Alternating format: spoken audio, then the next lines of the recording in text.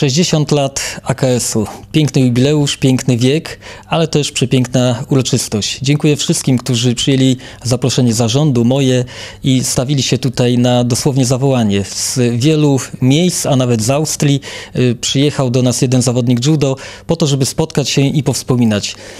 Życzę wszystkim działaczom, wszystkim trenerom, zawodnikom, żeby w klubie działo się jak najlepiej, żeby wspólnie można było spędzać wiele, wiele czasu na fantastycznych zawodach, na meczach. Dzisiaj przepiękny wynik, dwa razy siatkarze wygrali i kadeci, i seniorzy 3-0. To są rzeczy, które cieszą, ale też cieszy to, że ludzie, którzy kiedyś, dawno, dawno temu tworzyli zręby tego klubu, przyjechali właśnie do nas na ten dzisiejszy jubileusz.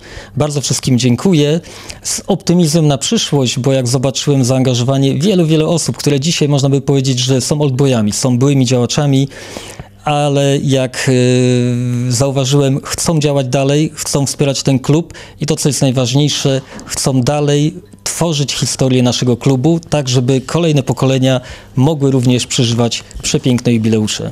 Miałem okazję dzisiaj spotkać wiele, wiele osób, których przez lata nie widziałem, ale też takich, których w ogóle nie znałem.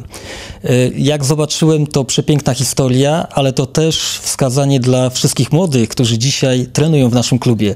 Warto trenować, warto rozwijać swoje umiejętności, bo nawet jeżeli nie uda się kariera sportowa, to wiele z tych osób, które dzisiaj przybyły na to spotkanie, osiągnęły sukces w życiu.